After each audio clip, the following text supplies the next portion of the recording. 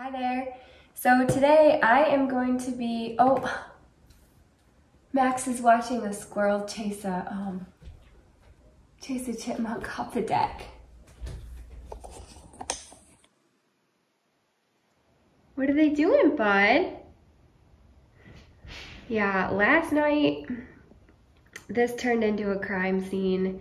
There used to be three bird feeders on there. One of them is down below on the ground. That suet cake one is broken and that one that's hanging there used to be hanging over there. It's just a mess. I'm pretty sure it was a raccoon that came up here last night, but all the seed is all over the ground. Max thinks it's hilarious, but I don't. Um, anyway, I'm on my lunch break right now, and I was about ready to get outside, and that, that squirrel, that squirrel, I want to get out there and be like, squirrel, leave my stuff alone. Oh my gosh, look at him. No shame. No shame. Oh my gosh. Buddy, what is he doing? He's so naughty. He's so naughty, huh? Look at him.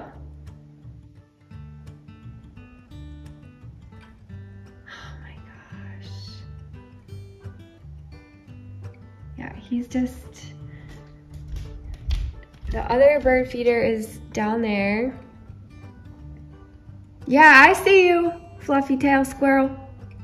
Eating all the snacks. You're nuts. You're nuts for the nuts. That's for the birds, bud. It's for the birds.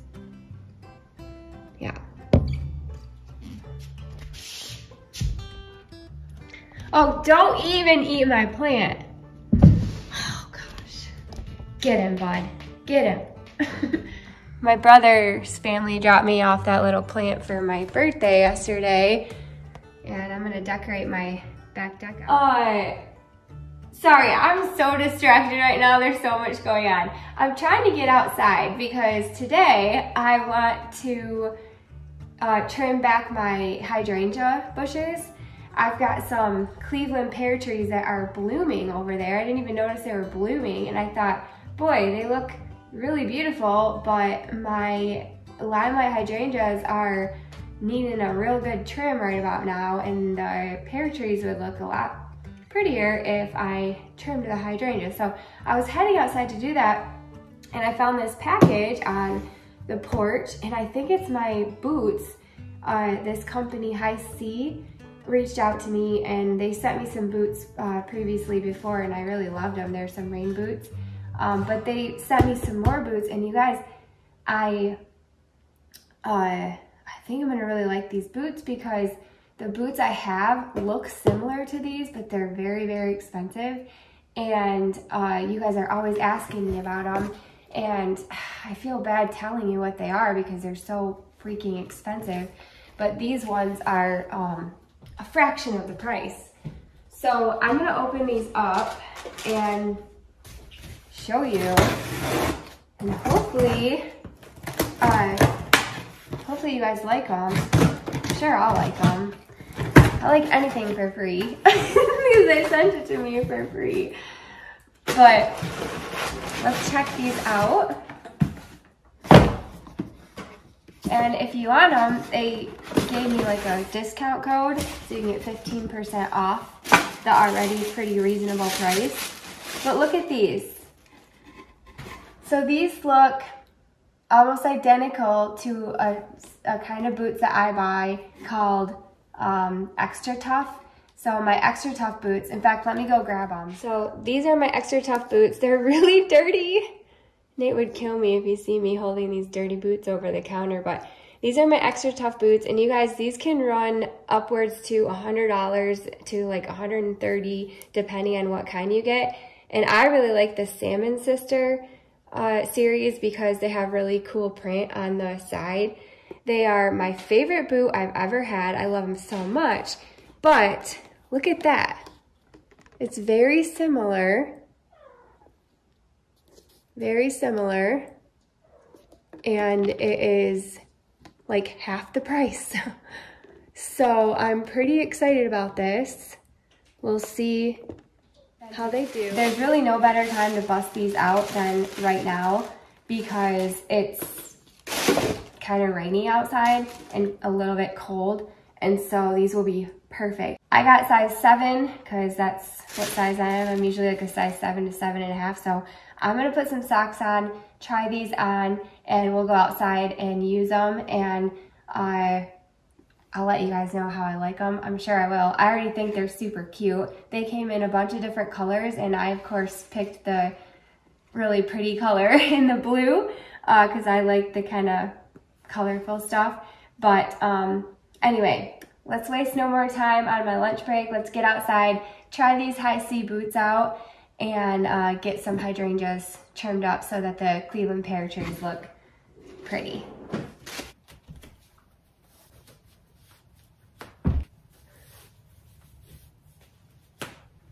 I love these two loops because you can literally just like pull them on to your foot.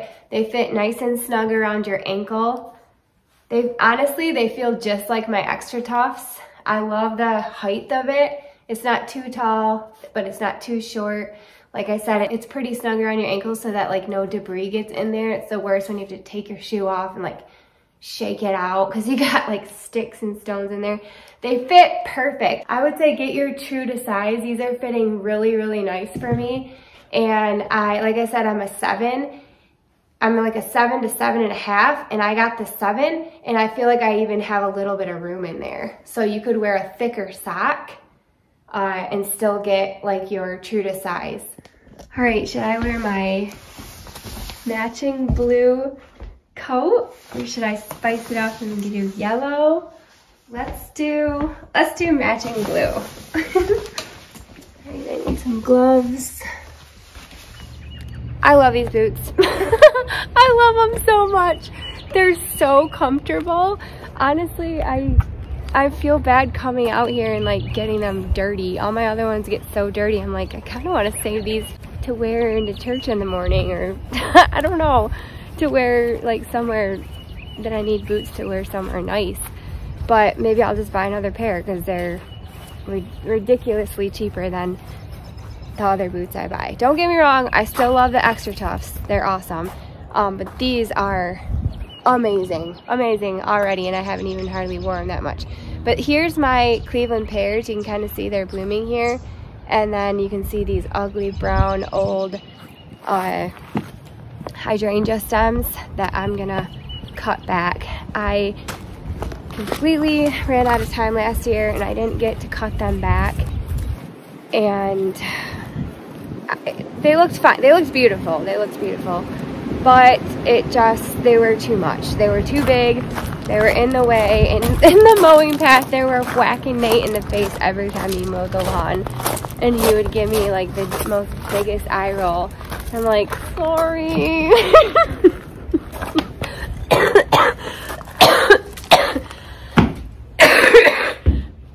sorry. I'm feeling a lot better. I just have a wicked cough. It sounds like I'm um, on the verge of death, but I'm completely fine. So don't worry about me. Um, I'm gonna just grab this bag here and then we're gonna get out there and start cutting some hydrangeas back go out walking after midnight, out in the moonlight, just like we used to do. I go out walking after midnight, looking for you.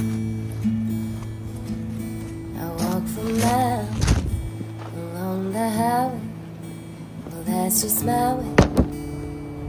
Saying I love you, I'm always walking after midnight searching for you. All right, these are my five limelight hydrangeas. I planted these years, years and years ago, maybe like eight years ago. Uh, I might even have a picture when I first planted them. Planted them straight into the grass and that was all that was here for quite some time. And then over the last couple of years, I put in these Cleveland pears, but you can see they're starting to bud, uh, bud up and bloom.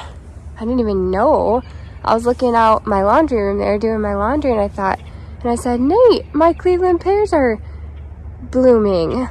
we gotta get rid of this nasty cut. I didn't prune these last year and they need a really good prune. So I might go in hot and heavy and see about pruning quite a bit. We'll see what happens. I just spent like 10 minutes and looked everywhere for my ratchet pruners. Um, there's no way that my uh, that my Felcos can prune this this tree. It just it's not gonna happen because uh, these stems are so thick and I cannot find my ratchet pruners anywhere. I'm so bummed. So I have to use these like ancient old rusty pruners. so we'll see how this goes. We might end up pruning off more than I more than I want, just because I don't have anything else. But I, at this point, we're just gonna do what we can. And as you can see, there's really no rhyme or reason to this right now. I'm just trying to get these things in, in size check at this point. They've gotten way too big and I don't I don't mind the size, but I just don't like how they're like kind of gnarly going into my neighbor's yard a little bit, and then uh, also going into our uh, grass for, mow for mowing. So I'm just gonna try to clean it up a little bit. These plants are very hardy and not gonna hurt it.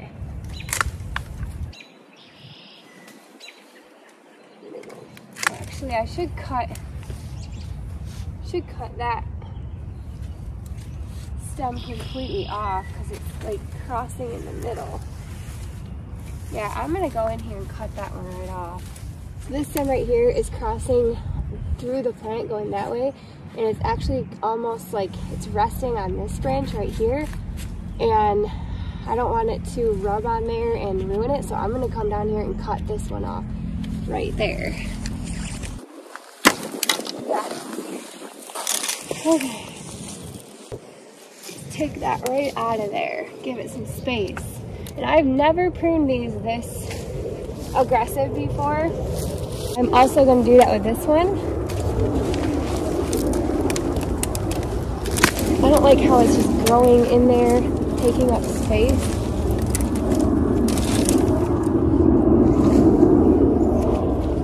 Here we go. Give it some room. Let's see here.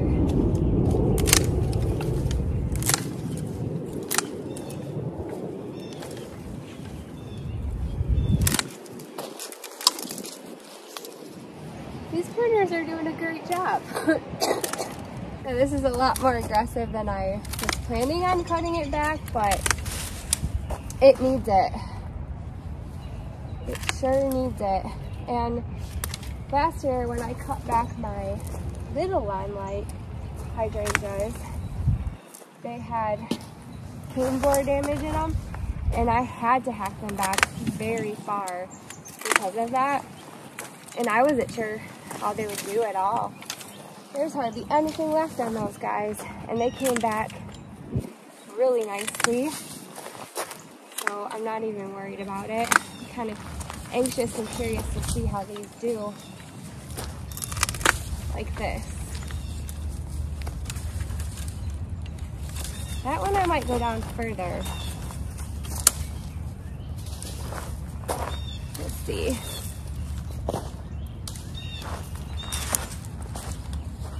Oh no, I'll leave it right there. And then I'm gonna cut off all these kind of spindly ones. Like this one's dead. Get rid of these spindly ones. This would be actually nice to have. That goes full, but it's fine.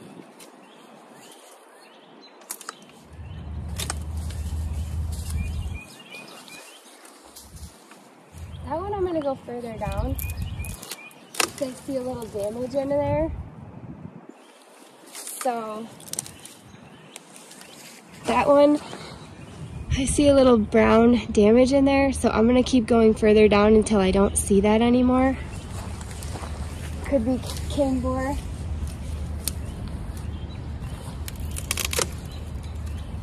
All right, we're good to go now. So I went down far enough where you can't see it anymore. See how the dark is in there? So that should be fine.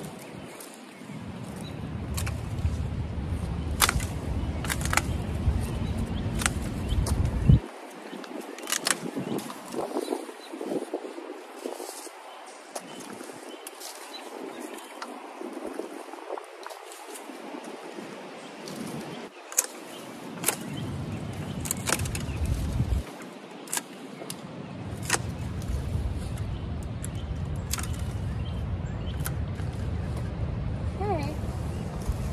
There's all that.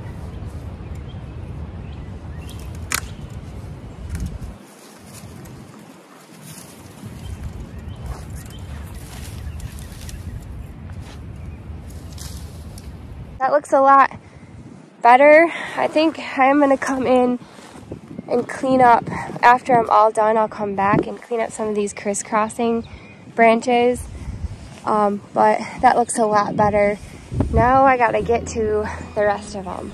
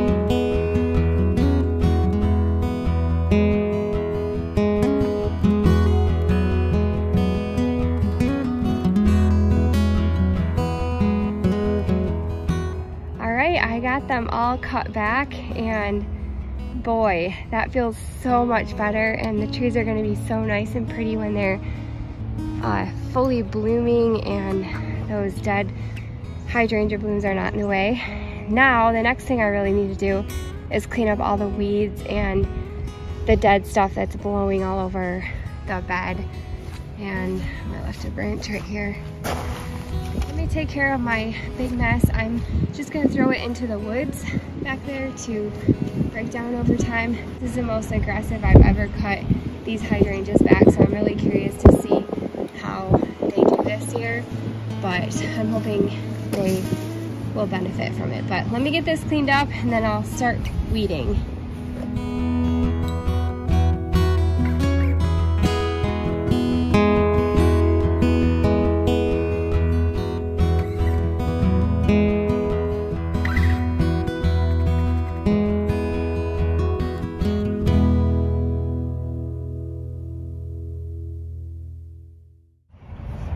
Obviously, I'm gonna have to rake up all these blooms down into the woods, but we'll just leave them for now and I'll start cleaning up the dead leaves and the weeds that are in here and we'll get this bed cleaned right up.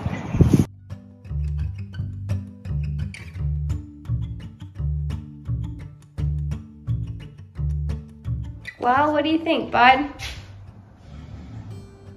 What was that? So the irrig the irrigation guy is here to put to turn the irrigation on and um, for the grass and stuff. We've got like sprinklers for our grass and he is here to do that. So I kind of had to get out of the way. Uh, but here's a nice little look at my front porch I guess while we're waiting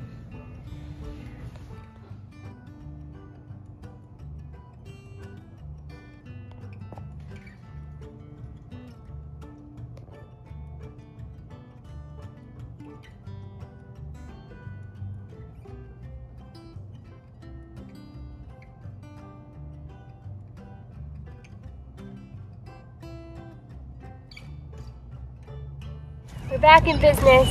That guy is gone now. Got all the sprinklers running and working.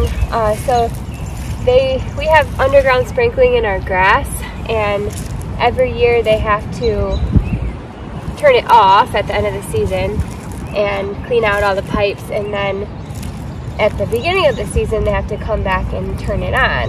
So they today was the day. I didn't know they were coming. So he just showed up. I was like, oh, sorry, let me get out of your way. I have all my, I've got hydrangeas blowing all over the yard. um, anyway, he's fine. But he's gone now, so I'm just gonna work on pulling some of these weeds. I have tons of hairy bittercress. I know one of you guys asked me about this weed. It's called hairy bittercress, and it is a pain in the butt. Like you have to pick it out, otherwise, otherwise it flowers and the flowers throw like hundreds of seeds. Oh, oh my gosh. There must have been a robin nest up there. I see two little robin eggs. Oh no, you guys, look. Shoot, there's one. And then there's one in there. Oh my gosh. Oh, oh no, there's two more in there. There's one and there's one. That one's broke, you guys. Oh, that's so sad. I hope that they are okay. Dang. That's really sad. I wish I knew what to do. Probably nothing. Probably nothing. But anyway, I'm going to be pulling all hairy bittercress weeds out because as soon as they flower, they send seeds flying everywhere and they just reseed and reseed and reseed. They're everywhere in here. So I'm not going to be able to get them all because there's just hundreds of them. But I'll try my best. Try to get it looking as best as we can for now.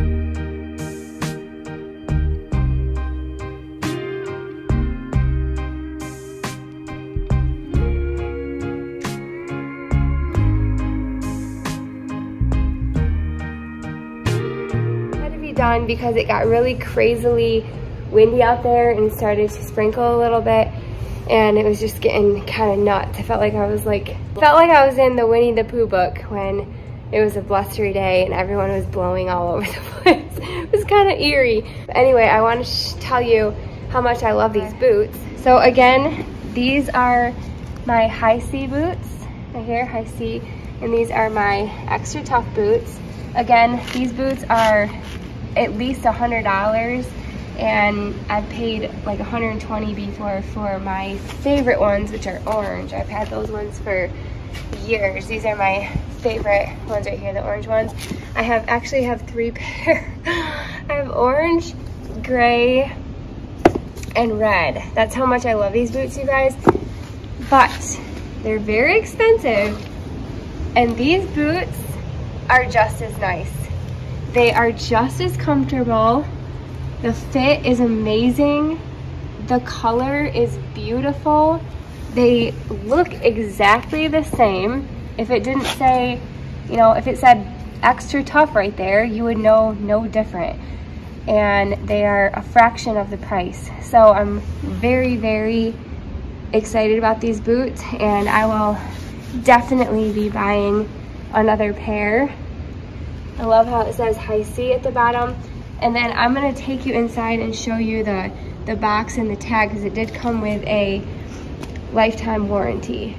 All right, this is a little card that came with it. It says lifetime warranty, two steps, one minute to sign up and enjoy. So you just scan that little code or go to the website and go backslash warranty and then fill out the registration. You probably put in that number there and sounds like you get a lifetime warranty on your boots. Like how cool is that? So definitely if you've been asking me about the boots I wear, I would skip past the XtraTufs and go for these HISEA's because they are amazing. So yeah, you guys know me. I'm not on here to sell things. That's that's the last thing I'm trying to do on here. But high C company, they reached out to me through email again and um, I am very, very hesitant on doing this kind of stuff because um, like I said, I, I'm not trying to sell anything. Like I'm just trying to hang out in my garden and share with you guys. That's all I'm trying to do.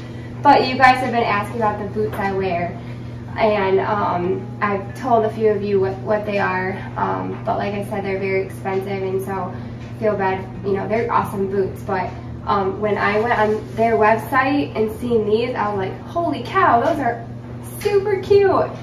I gotta try those. So I'm telling you, if you like the boots I wear, I would skip out on the XtraTufs and try these HISEA boots because they're so cute and they don't, you don't have to get blue. They have, they come in like neutral colors if you'd rather have a neutral color. And they have all kinds of other products on there too. But if you do, you can get 15% off if you use the code JES, J-E-S, and I'll put it on the screen there so you know, but um, you'll get it for original retail price plus the 15% off. So anyway, if you try them and you love them, let me know. I really hope that you do. Um, but uh, yeah, thanks for hanging out with me while I uh, cleaned up my hydrangeas. Hopefully I'll get the weeds cleaned up another day when it's not so windy and crazy outside and I'll bring you guys along for that. But thank you guys so much for watching and I'll see you later. Bye. The sun came out. I thought I'd pop out here really quick and show you guys what we did over here before we say bye. Still really windy, but at least I'll give you a, a look. Oh, the sun's leaving us again, but looks much better. Still really windy and weedy, but I'm glad we at least got some of it done. Bye. Thank you so much for watching.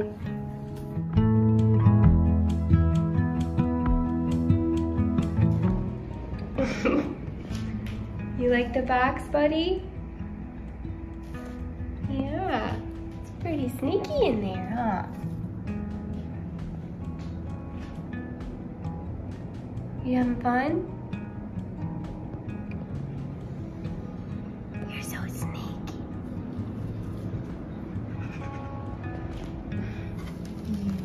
Sneaky boy.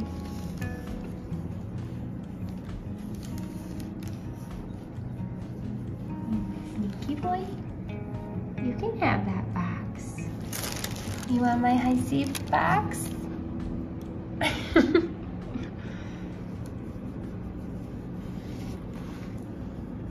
For snoozing? You can. You're my snoozy boy.